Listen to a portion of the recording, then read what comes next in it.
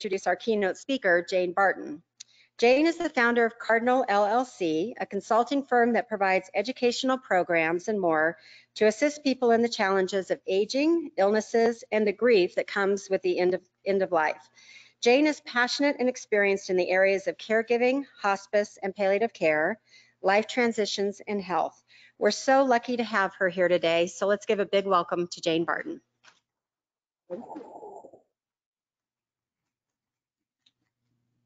So good morning. How are you doing?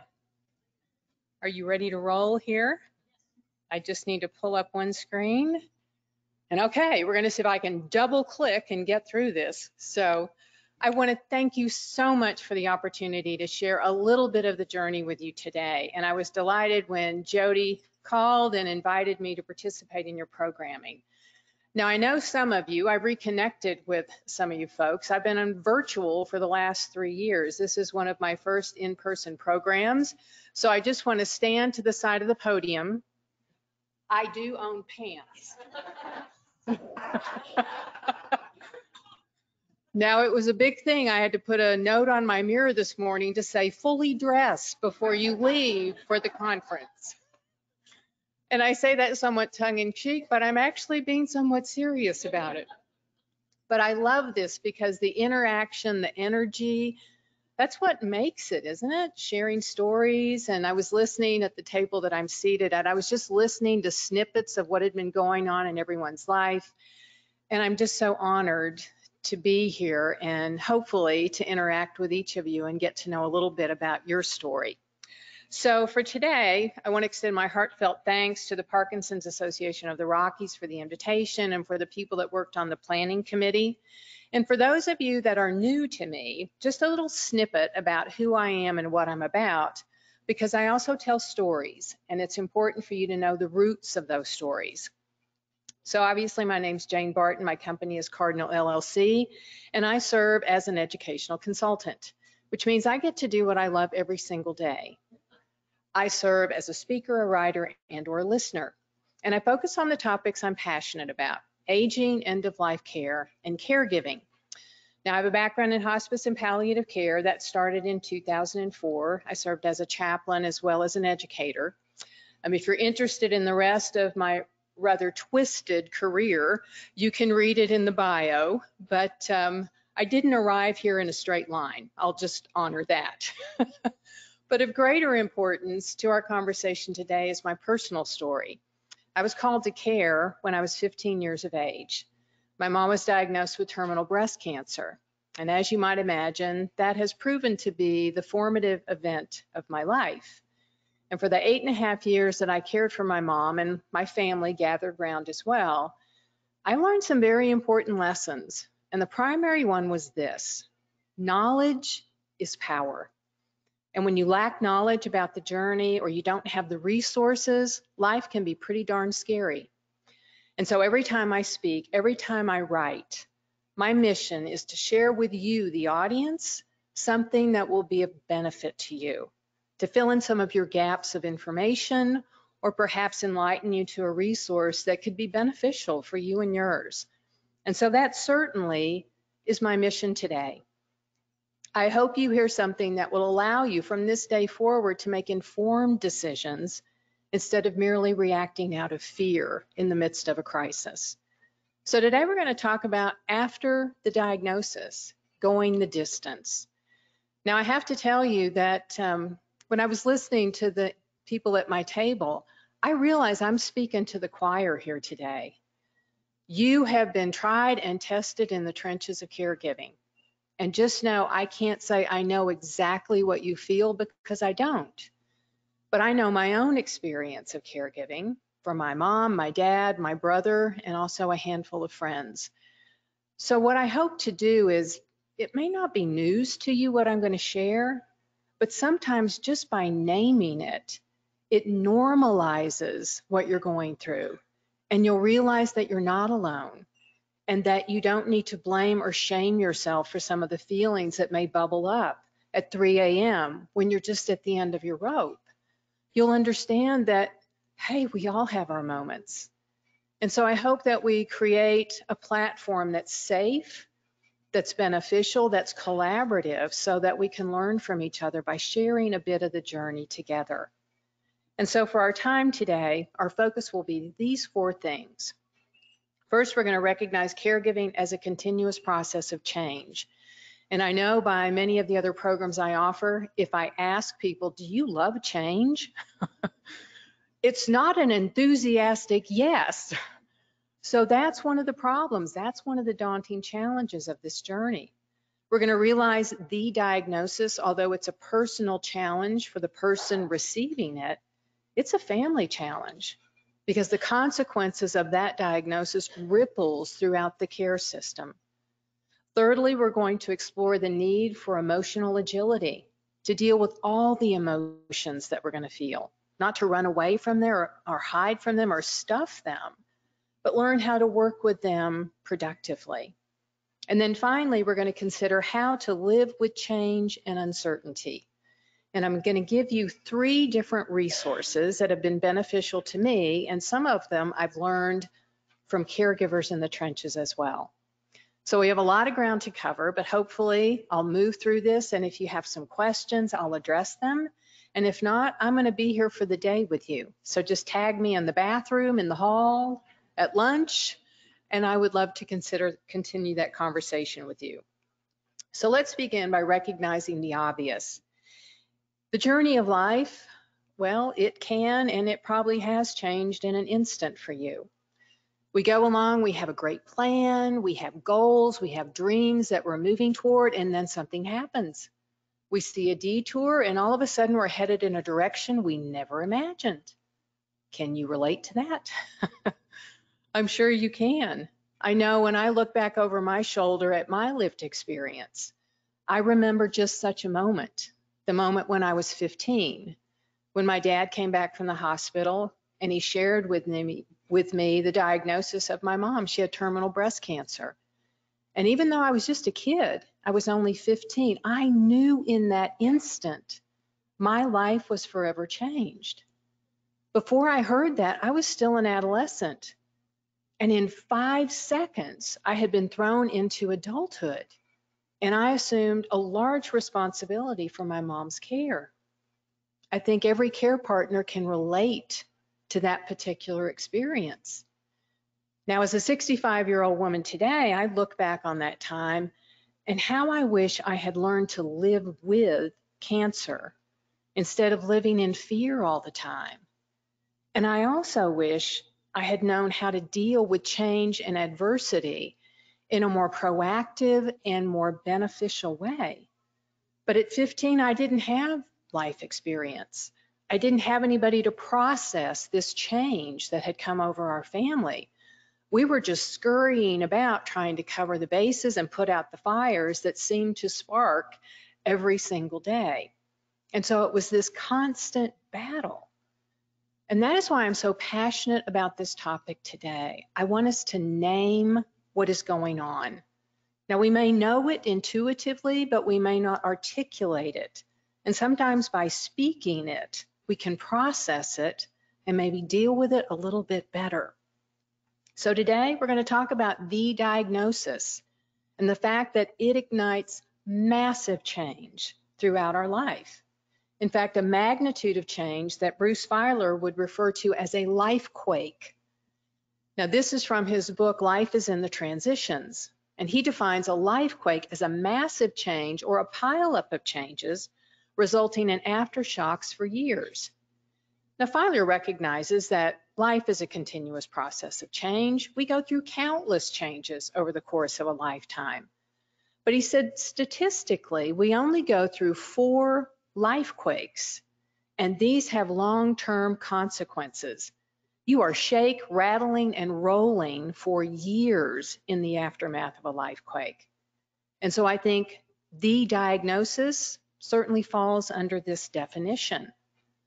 So no matter how much change you've incurred up until this point in time, I'm bringing you great news of joy, I know. There is more change ahead, which means there is more uncertainty ahead which also leads to the realization that's caregiving, isn't it?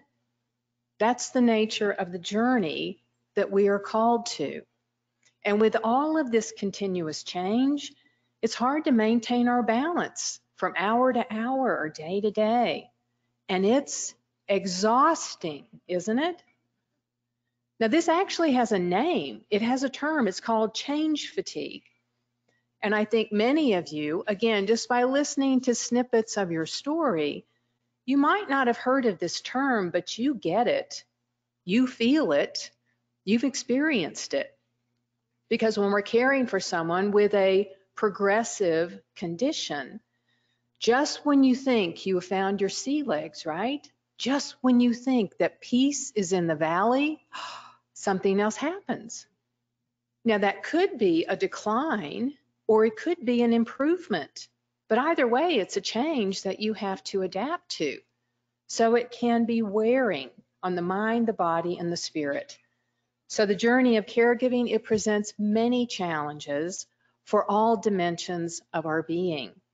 So that's physically, emotionally, mentally, spiritually, and psychosocially. So have you ever felt like this climber during the day that everything is just straight uphill? I would imagine you have. But I think one of the most daunting challenges of this entire journey of serving as a care partner is the uncertain and unknown future. And so as you look forward into the days, weeks, or years ahead, unless you're clairvoyant, and if you are, I'd love to chat with you. Maybe we could go in on a lottery ticket or something. But as you're doing this, you know, you can't really see clearly into the future. It's kind of foggy. And I don't know about you, but I don't like the unknown. I don't like uncertainty. And that really is the nature of most human beings. You may love to read a mystery, but I don't think you like to live in mystery. And so that is a huge challenge. But if that is the nature of the journey that we're on as care partners, then it begs the question, well, well, what can we do about it? Can we resolve? Can we mitigate some of this fear? And what about that uncertainty? What inspires us to confront it, to beat it down, to tame it? Well, I always go back to my foundational belief that is knowledge is power. So if we're going to deal with change and uncertainty, we need to understand the process and how it evolves, how it unfolds, and then how we can interact with that. So let's consider the nature of change. Now, change by definition means something ends. The end of a relationship, the end of a job, the end of a way of life, the end of good health. And when an ending occurs, endings generate a sense of loss. That is why we grieve after change. And also in the aftermath of change, we have this overwhelming sense of uncertainty because nothing's normal after a significant change. This isn't the world we have always known. And so we're looking forward thinking, okay, so now what? What's next? So change by definition means there's an ending. With an ending, we experience loss and we are also thrown into a period of uncertainty. It's also important to recognize with change, a lot of people say, oh, I don't like change or I fear change. Well, in actuality, sometimes we don't even know change is about to happen. So how could we fear it? When my dad had a stroke in 1992, I wasn't fearing he was going to have a stroke. There were no indications that was on the horizon. But I certainly feared the aftermath of his stroke. I feared the turbulence of transitions after that massive change. So it's the transitions that are problematic, not necessarily the change. Now, at this point, perhaps an image or a metaphor or a picture of how this actually works might be beneficial. And as you might imagine, I love images because of the pictures you're seeing up on the screen. And I just happen to have a model to offer to you. And I call it bridge time. I want to walk you through this process and it will help you understand where you are in your relationship to change and transition. And it will also help you to envision where you're going. So the story that goes along with this image of the bridge is that Imagine this morning you awakened and everything happened exactly as planned. First and foremost, savor that moment. They're few and far between. So because of that, as you're cruising through life, your journey is very flat. The pathway is wide. There are no twists and turns. It's easy until you encounter that detour sign and you have to take a sharp right. And you're thinking, what is this all about? And you take a few strides and all of a sudden you hit a point of inflection, which is represented by the left side of the bridge. And the gradient of your path just became much steeper. Life became harder. And you're looking around thinking, what just happened? And then you hear this loud sound in front of you, roaring water. And you see this chasm opening up before you. And you look over the edge and you see the turbulent waters of transition. And you're thinking, my gosh, how am I going to move from one side of this chasm to another? And you raise your eyes and you see this lovely bridge before you. And you think, wow, this is opportune, isn't it? And then you start to skeptically and critically assess your situation and your options because this bridge is very narrow and you realize it's a one-way bridge. Once you enter it, you can't turn around. You can't go back. Now, how does that relate to change and transition? When change happens, we're on the left side of this bridge. We need to traverse the rough waters of transition. We need to move from what was to what will be. And yes, we have that transitional bridge, but we don't know exactly where we're headed, right? We don't know what that new normal is, that new beginning, and do we trust it? Do we walk on faith? Or do we cower in fear? Are we paralyzed at the opening of that bridge? Well, that's a choice. But if we choose to go across that bridge, also realize it's not a skip in the park you're going to be doing the hard work of grieving and mourning in the aftermath of change. Because remember, change is defined as an ending. And when we have an ending, we experience a loss. That is why we find change so difficult, because grieving is one of the hardest things we do as human beings. But this model has helped me so much in my transitions, and I hope that it will serve you well because it can give us hope. There is something beyond this moment after change. We are moving forward. We're learning to live with our loss and to embrace a new beginning. And that's important as a care partner because you will traverse many bridges in your journey. And just as you exit one, you feel like you're entering another. And some bridges are short, other bridges are long. And so it's not that you can eliminate bridges from your life. Because remember, life and caregiving are continuous processes of change and transition. And this is not just you, it's going to be your entire family as well. Because remember, this is not a personal challenge, it's a family challenge. So it's going to affect all concerned. The diagnosis has a huge ripple effect and affects everyone to a greater and lesser extent depending on the relationship to the person who has the diagnosis. And that diagnosis is destabilizing for the entire family system. Everyone feels discombobulated because disease has now become an unwanted new member of your family. And everyone has to learn how to live with it, not dance around it like my family did. That did not serve us well. But everyone is going to have a different relationship to that diagnosis, learning how to deal with it, how to manage it, maybe even how to tame it. And that's because the disease, it upsets the balance, the tenuous balance of your family. Now, I don't know about you, but my family was not perfect. Is yours? Most are not. And we need to recognize that. Over the course of a lifetime, we negotiate this tenuous balance in which we live. And in systems theory, it's called achieving homeostasis. So you have this balance that you learn to live and work and care together. And any little change in that family system in your life, it throws it off kilter. And so when that happens, when you have a significant diagnosis, then it changes the family rhythm. You don't move through your day in the same way. It demands a course correction oftentimes. You are not traveling toward the same end goal that you were before the diagnosis. And it requires a transformation of hopes and dreams. And as we noted, that new member of your family represents an ending. So you're going to be grieving all that was lost in that moment, as well as anticipating all the future losses.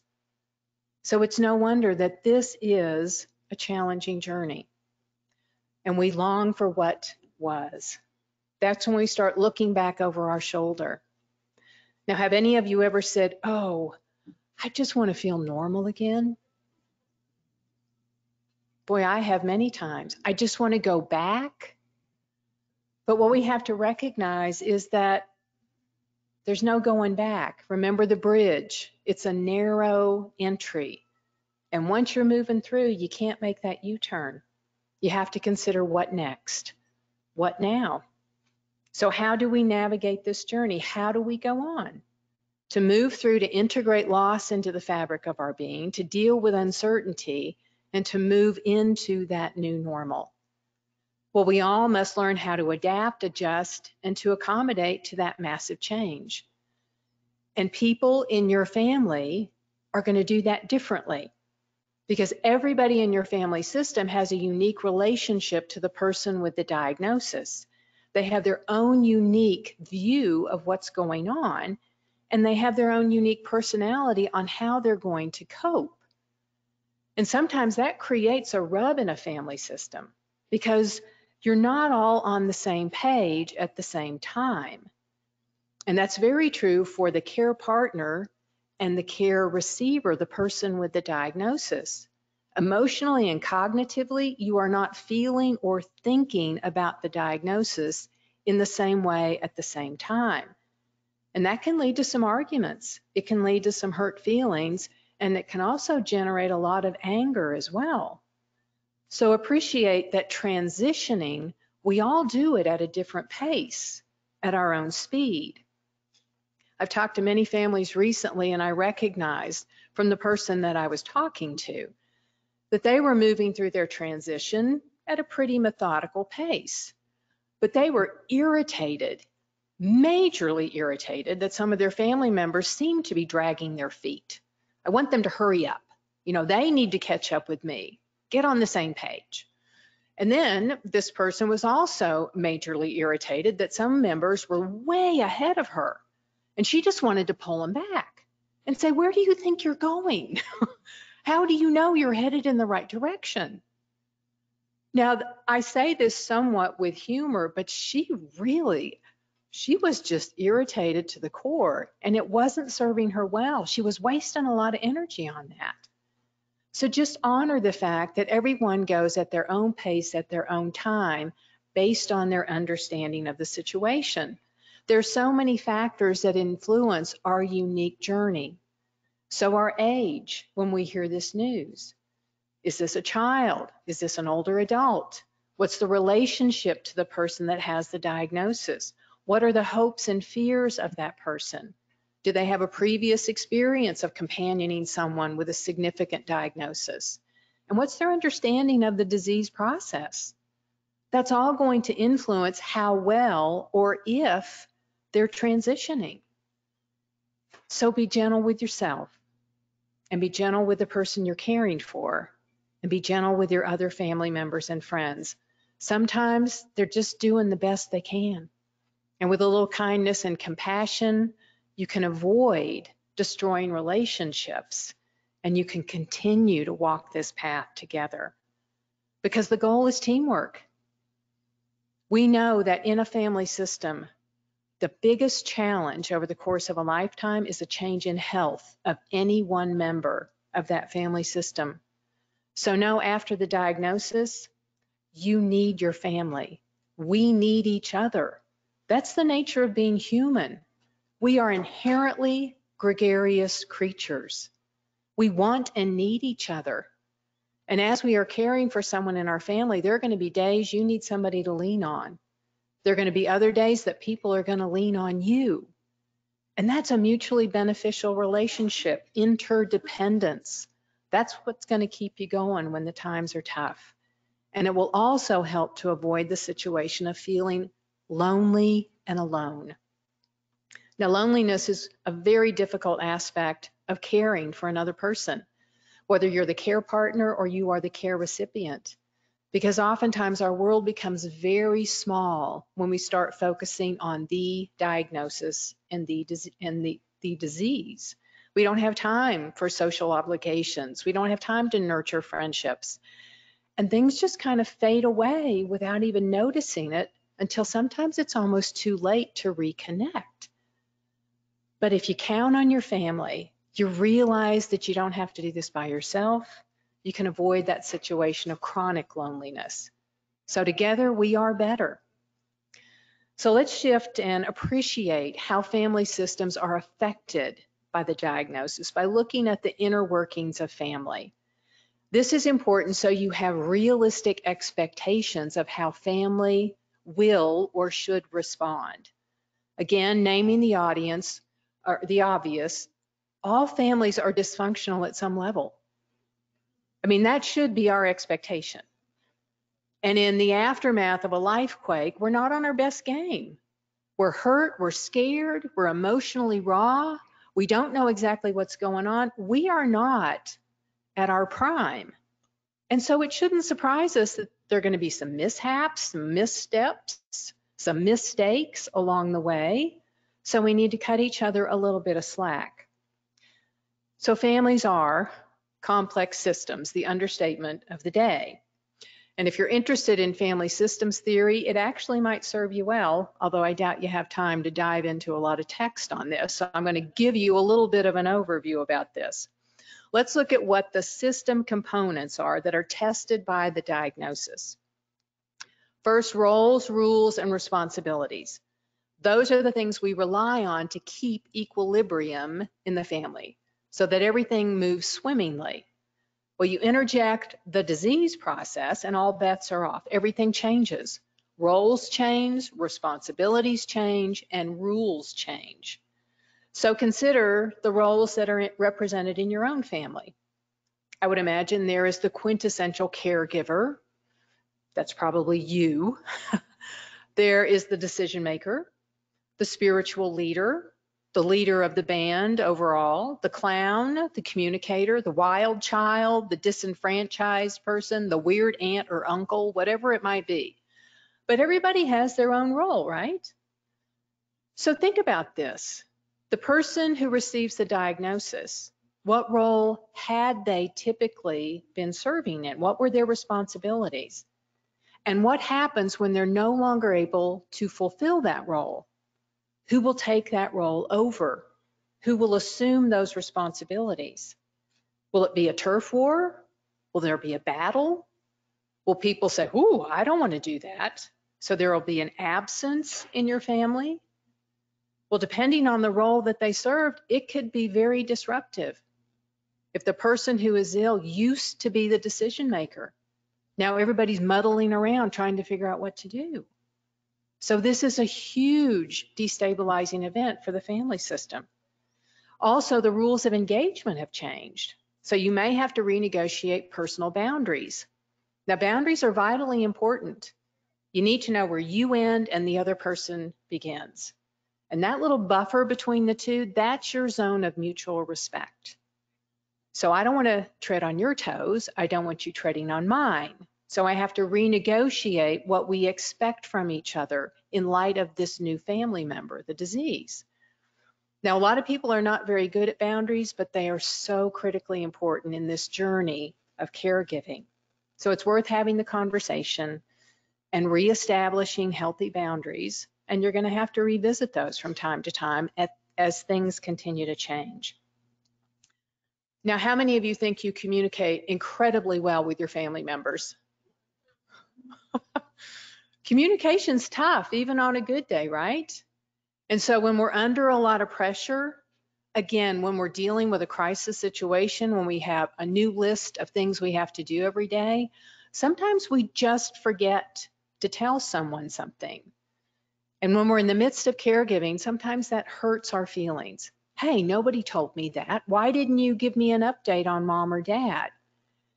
And so a lot of hurt feelings come to the forefront and people get angry and then they start to distance from each other and lines of communication go down.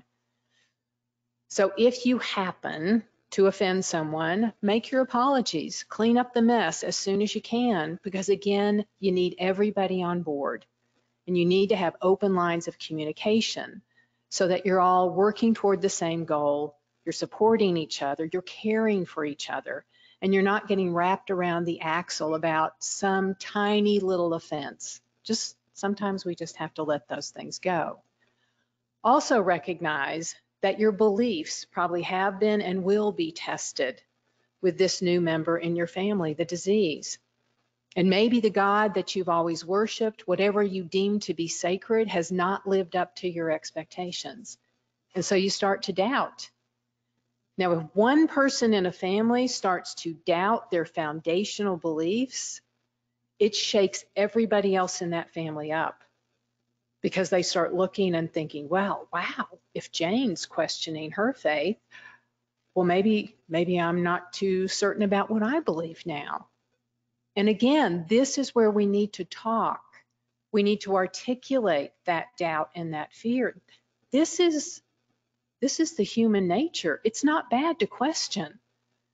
So don't blame anyone that may feel a little bit uncertain about their faith. Encourage them to work on it maybe to seek some pastoral counseling and reconnect and reimagine that relationship with the divine that will serve them so well in the long run. So what's the message about family?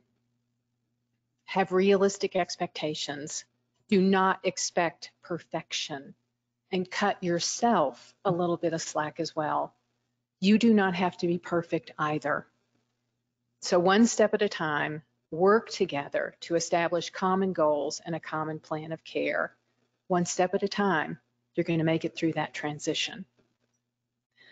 Now let's shift and talk about the emotional aspect of the journey of caregiving.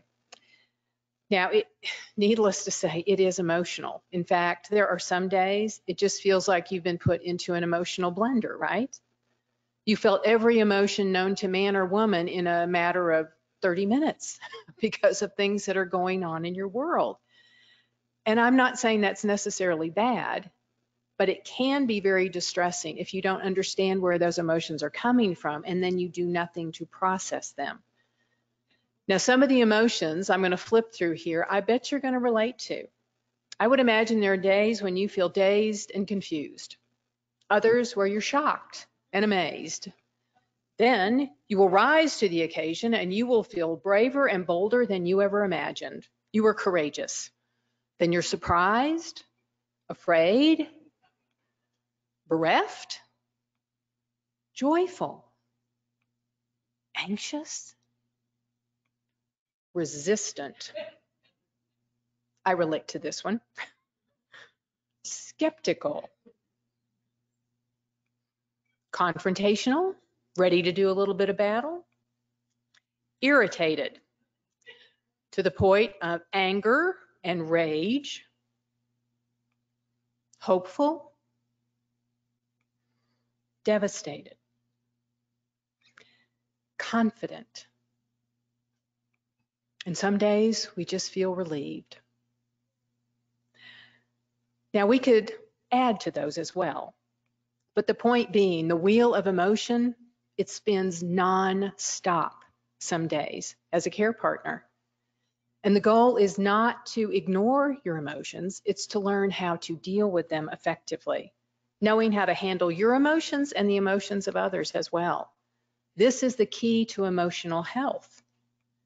Now, emotional health is defined as your awareness of your emotions and the ability to accept them, to manage them, and then to express them in an appropriate way, not in a destructive manner. And good emotional health doesn't protect you from tough situations or tough feelings. Instead, it helps you handle them with a clear vision. This is all about what is referred to as emotional agility, which been has been a hot topic of conversation in academia for about the past 10 years. This is the idea that states it isn't to have more positive emotions and to try to be merry sunshine. And it's not about stopping negative emotions. Rather, the goal is to make use to make use of whatever emotions you have. By accepting your emotions rather than trying to change them, you can make good use of them. All of our emotions tell us something. It's our reaction to what's going on in the world around us. And sometimes we need to respond to that, not to stuff it, not to discount it, not to think, well, I don't know how to deal with that today. So for emotional health to serve you well for the long term, so you can go the distance, my word of wisdom is this, which a caregiver told me many years ago. Feel what you feel when you feel it. Own it, honor it, understand it, and also respect the emotions of others. It goes a long way to moving you forward in this journey of life. Now, we've covered a lot of ground thus far. We've talked about the reality of what a change the diagnosis is, not only for you, not only for the person with the disease, but your entire family system. We've noted this is an emotional journey as well. Now, I want to give you some ideas on how to keep going. How can you go the distance? And I just happen to have three R's to share with you. These are the guiding lights that I've used for decades. And again, they're not strictly my idea. I have learned from the best. But I want to share with you how resilience, response, and ritual can help you as a care partner. So let's begin by looking at resilience. When we are challenged by life, any kind of massive change, but certainly a change in health in the family, you got to have bounce if you are going to move from one side of that transitional bridge to the other. And by bounce, I mean resilience. This is a process of adapting well in the face of adversity. It means bouncing back from difficult experiences.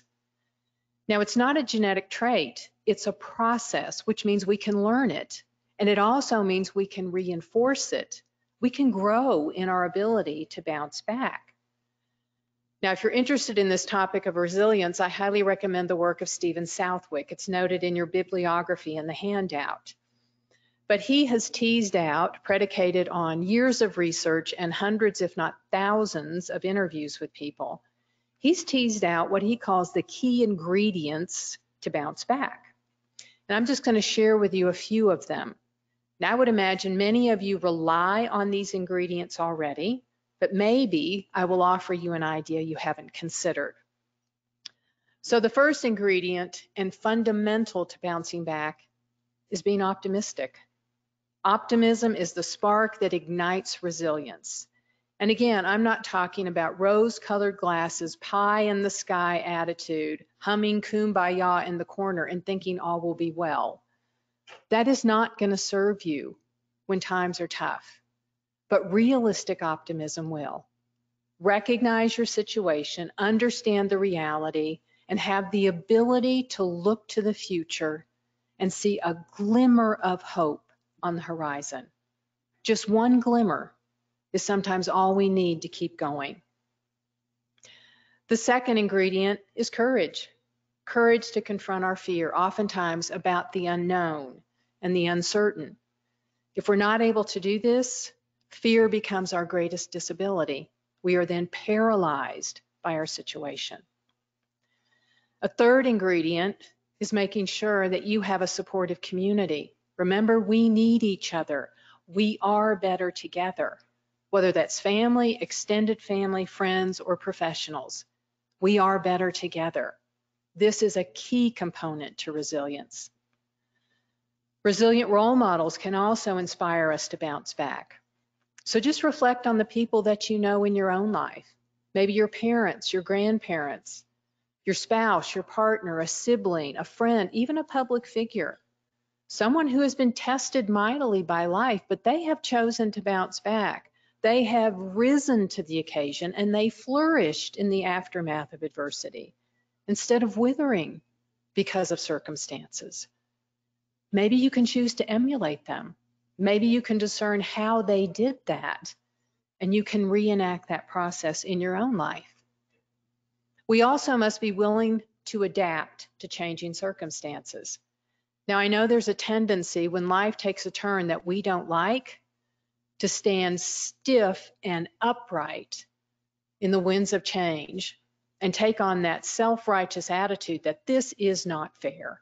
This is not what I asked for. And that typically will not serve us well because we risk being shattered and broken by life. We are much better served to bend with the winds of change, to adapt and to accommodate that. And you got to keep your humor, right? You got to laugh from time to time. In fact, humor is one of our best methods of coping as human beings. And it moves the energy around, the stress and the strain. It gives us a little bit of a break. It generates endorphins and serotonins internally that serve us well. But it can totally change our perspective on the situation. We're not laughing at our circumstances, but despite them. And certainly knowing your why is vitally important. Having a sense of meaning and purpose, knowing you have a reason to be can keep you going through the trials of life. That was the premise of the work of Viktor Frankl, who wrote Man's Search for Meaning. This is his memoir of being imprisoned in Auschwitz for three and a half years. And he concluded if you could discern meaning in the midst of suffering and adversity, suffering ceased to be suffering. He echoed the sentiment of Friedrich Nietzsche, an existential philosopher of the 19th century, who stated, He or she, we will update it a little bit, who has a why to live can bear with almost any how. If you have a sense that there's a reason you are here, you can tolerate about anything. And that why extends beyond the particular moment of change and loss to incorporate the entirety of your existence what Frankl referred to as the ultimate why of your life. And finally, foundational faith is a key component to resilience. That pillar that you lean against, the beliefs that you trust that will guide you through the dark nights of the soul. Faith is a place of mystery where we find the courage to believe what we cannot see and the strength to let go of our fear of uncertainty. So the bottom line regarding resilience for me is this. Transformational resilience provides the framework and skills that enable us to use adversity, to use change, and to use life's challenges as opportunities for innovation, creativity, growth, and transformation. This is a total reframe of a life quake. It's not just a challenge, it's not just devastating, but it can be ultimately an opportunity. And that is what I refer to as the afterglow of adversity. Now, the second R I want to share with you has to do with our response to life. Now, when, when we have the diagnosis, when we have that massive change, we have a choice. How do we choose to respond to that? How do we choose to respond during the times of transition? Well, attitude is everything.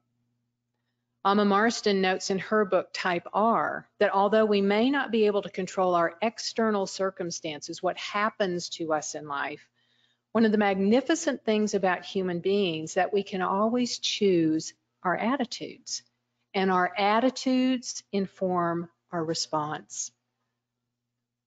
So we need not be victims of life. We need not be victimized by our circumstances we have the ability to choose a response. So consider through all the twists and turns of your journey up until this point in time, how have you typically responded and has it served you well? Well, only you can answer that. But the choice is yours and it's a critical choice that you'll make. Because from that day forward, it determines the trajectory of your life for better or for worse. So may we all choose wisely. Now, the last R I want to share with you may be something you hadn't actually considered before, and that is the R of ritual.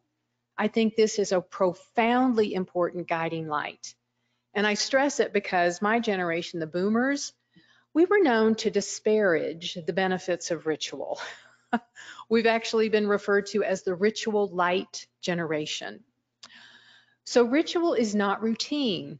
It is not rote. It is not just going through the motions. Instead, rituals are intentional and meaningful. Rituals make a difference and they can make a profound difference during a time in which everything is abnormal, chaotic, and not familiar. I want to share with you a definition from Thomas Moore, who says that ritual is any action that speaks to the soul and to the deep imagination. Even the smallest rites of everyday existence are important to the soul. Now, isn't that lovely? But what does it mean? Is he talking about religious, spiritual? Well, he's talking about all of those things and secular as well. So I want to give you a quick little story to distinguish ritual from routine. So every day I want to have a cup of tea to start my day, hot tea. So I go to my kitchen, boil water, throw the tea bag in, drink it, get caffeine into this into this body. That's my goal. That's routine. But then about once a quarter, I engage in ritual. So I create a very special pot of hot tea. I go in the kitchen and I pull down a special china teapot, a special china tea cup, and I will only brew constant comment tea because that was my mother's favorite. And as I'm brewing that pot of tea and I smell the characteristic oranges and spices, I am transported back in time to my childhood home and I'm sitting across the breakfast table from my mom and we're talking about life. We did that every day when I was growing up. Now I do this when I have the need to connect to my mother, when I need that sense of belonging and of home and of groundedness and certainty. That is the beauty of ritual. We need this so desperately because ritual frames ordinary time as extraordinary time. And it connects us to that which is beyond ourselves, other people, other memories, maybe to the sense of the divine and the sacred. And it satisfies our hunger for the familiar. Because if we've engaged in this ritual before, we know how to do it. We could do it with our eyes closed. And that brings to us predictability, order, and continuity. And these are the things we long for when life is chaotic and uncertain. These are the things you need during times of change and transition. So if you don't engage in ritual today, create a ritual this evening or tomorrow and do it every day. So a few parting notes before we go. If you're feeling overwhelmed, just know you're not alone. We all have those moments. And when that happens, Choose to hang on to hope. Choose to respond in life giving ways. And choose to go the distance. So I usually do a heartfelt closing ritual. Do we have time? Do a quick little reading here.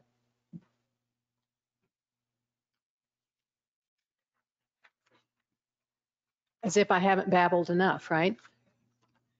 I want to close today by sharing something with you that I wrote several years ago. It's the conclusion to my book, Caregiving for the Genius.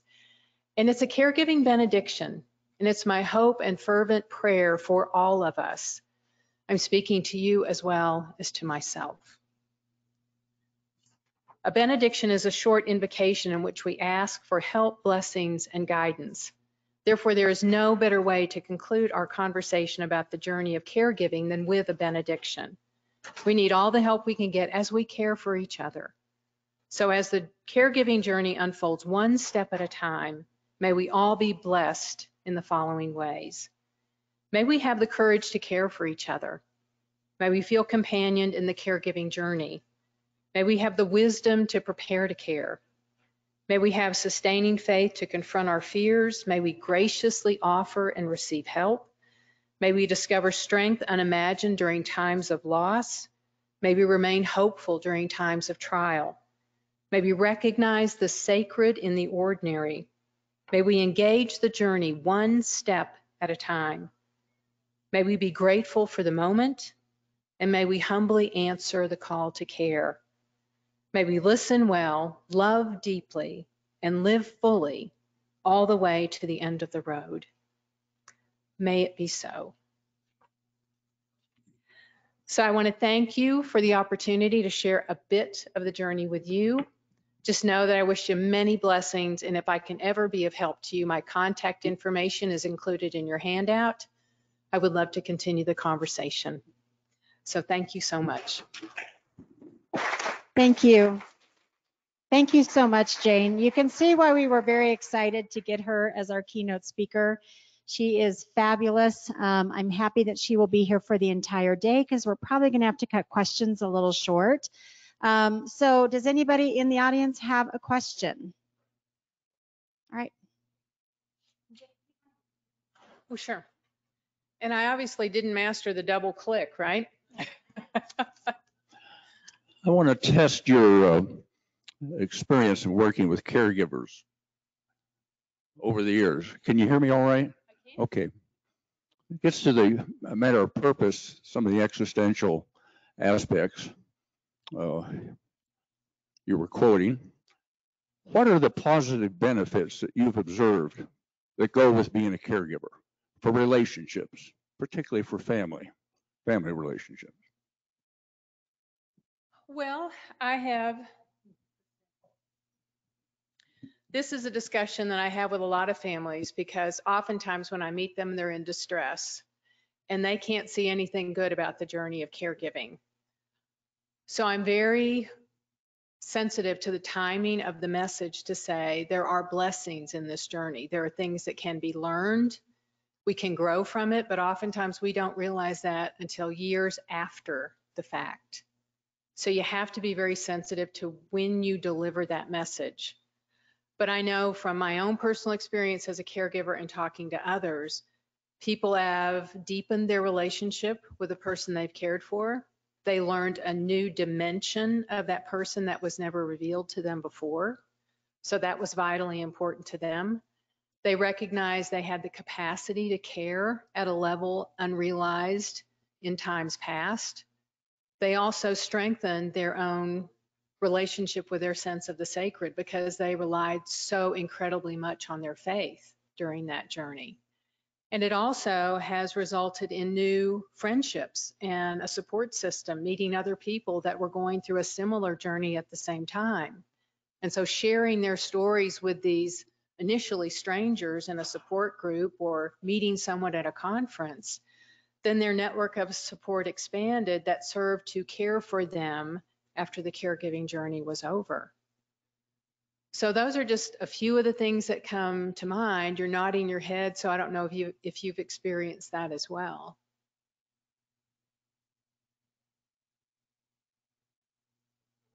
Any other Okay, questions? Are there any other questions?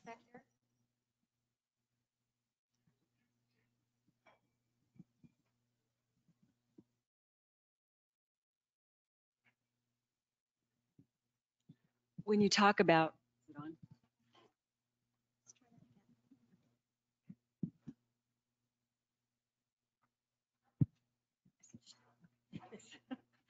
when you talk about meaning as being important, um, how how do you help your partner who is in the advanced stages of a disease find meaning in their life with Parkinson's? Um, a lot of sleeping, a lot of uh, not being present, an inability to do everyday things. How do you support a partner in that situation? That's very difficult because that's a huge transition in how that person understands themselves and how they can be a presence in the world. And so we derive meaning in a variety of ways by what we offer, what we can contribute, and oftentimes that's through the work that we do. We also discern meaning in life by what is done to us, how people interact with us. And actually, Viktor Frankl says the greatest source of meaning is how we choose to deal with suffering in our life. Now, it's not the easiest way to learn, but it's probably the most profound way. So when I talk to people, and I've talked to many, even some family members who have told me, I'm done. I don't know why I'm still here. I have nothing to offer every day.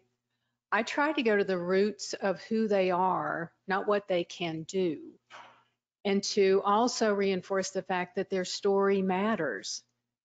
So sometimes that part of the journey of any disease process is a time to capture the stories, to sit with family and to say, remember when, or these are the things I learned that matter the most. This is all about creating an ethical will, which I think is the most valuable part of our legacy. And we can do that orally, we can write it down, we can have someone record it, we can videotape it. But I think just looking at someone to say that you are here and you have made a difference in the world, that you matter until your very last breath. And I want to know more about the journey that you took. I want you to share those stories. Sometimes we just need people to value that and to proclaim it to say, wow, I do have a reason to wake up tomorrow.